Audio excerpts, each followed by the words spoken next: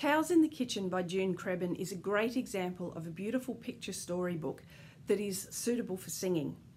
Have a watch of the video and learn the song and then try and work out ways that you might be able to put dramatic or dance elements